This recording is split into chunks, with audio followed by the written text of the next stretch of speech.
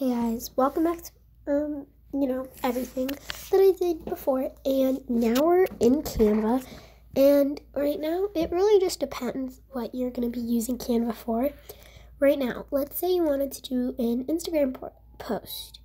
They have a bunch of fun little designs over here if you're doing this for fun. And then if you wanted to just do a story, it has all these fun stuff like logos, Facebook posts, flyers, Instagram stories, posters, mobile videos, invitations, t-shirts, YouTube thumbnails, and more. But um, if you guys also just want to get it in an easier way, an easier way to do this is at the top now, Canva has edited it. You can just search up any words like that to help you find like maybe what you're looking for, like blue, maybe like sky, like posts. It, it can find whatever you might be looking for. For example, maybe I was just looking for something like this. It's really easy to find stuff on Canva now that they do this, but also an easier way sometimes it's kind of confusing if like you're new to Canva and it's kind of hard to um like figure out how to make your own. On Canva, if you guys are new to Canva, there's actually a button, like a little plus sign, and if you just press it, it's actually just going to take you to make whatever you want. Now you're going to have to choose what you're going to be looking for. Um, right now, I'm going to choose a YouTube thumbnail just because, you know, I have a YouTube channel myself, and Plus, maybe I can just make like a thumbnail for this. When you first press on it, actually, it's to come up with a bunch of designs, and the bottom uh, button over there is designs. And over here, if you just want it to like give you a head start, you can look at all these and see what it comes with. And let's say, hey, you just don't like it. Well, and maybe you just want to create your own. Well, if you swipe up, then you just have a blank page. What you can do is tap on the blank page, and at the bottom, there should be a color. You can choose whatever color you want to do it. You can also search up colors sometimes. I just prefer to use. There's normal colors, like there's default colors, there's and then there's gradients. I really like gradients a lot. I use them a lot in my videos. So you guys can just choose. Um, my favorite um, Gradients ones are this, and, this one and this one. But you guys can choose whatever one you want. And my favorite default colors are this, this, and this. But you can choose whatever colors you want. And then let's say you want to delete it. You can easily press this button. It'll delete the color. And probably all your work too. And well, maybe now if you want to add like um if you want to add some elements or little designs, press the plus button that should be on the on the bottom left. When you press it, it's going to take you back to designs. And at the bottom, there should be a bunch of stuff saying like design, elements, text gallery, brand, uploads, draw, apps, projects, and background. And let's say you want elements, right? You're going to press on elements, and it will probably come up with a little search bar at the top.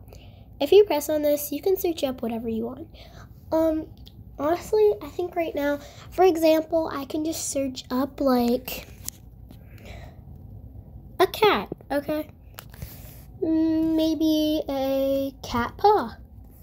And some of these will like come up like graphics, like colors and drawings, like the top row. The next might be photos of real life actual kitty cats. And the last one might just be videos or audios. All audios on Canva and all editing apps are usually not copyright, so feel safe to use them for YouTube videos and TikToks. Next, if let's say, um, okay, I'm gonna choose a paw, right? I chose this paw. You can design to put it wherever you want, and Canva is actually very helpful and it kind of lines up where you put it to make it look perfect, like little purple lines. And it can actually really help you. Sometimes it might get annoying, there's no use for it, so you should probably just stop searching how to fix that. But now, if you press the plus again at the bottom, there should be one that says text. And if you look here sometimes, you might be looking here and you're like, oh my gosh, I I want to choose what I'm writing. I don't want this to choose what I'm writing. Well, actually, if you just press on these, this is just the font you're going to use. If you erase it though, be careful when you erase it. Sometimes you can erase the entire box. If you just erase it though, you can write whatever you want, like cat, kitty, videos. It's actually super fun. Sometimes though the pages might not be enough, I'd prefer to make them little. The way to make them smaller and a longer are actually really easy. In order to make them smaller, there's usually a circle around these if you're new. You just get your thumb or your index finger and push it down. It'll tell you when it's got too big or when it's gotten too small because usually it'll just appear. Next, you can make it longer by pressing on these lines. And let's say you messed up and you just want to delete it, easily just tap on it and you'll delete it. Tap on it and there should be a trash button. And let's say you want to draw. What you can do is on on um the bottom there should be something that says a draw. If you press on draw, you can choose whatever colors you want by pressing on the colors. You can choose whatever colors you want, but I don't usually like using the draw button. Next, you can use what kind of, how big you want it, how small you want it, if you want it like that, if you want it like that, or if you want it like a highlighter. Then, let's say you need to erase it. This button, the pink one, is the eraser. You can easily erase it though, so you kind of have to be careful. Let's say you want to delete the element, tap and delete. And if you ever want to save it, what you're going to do is you're going to want to press on this. Then it should be done. But we don't want to do that right now. Thank you for watching. Please like and subscribe. Fall for more.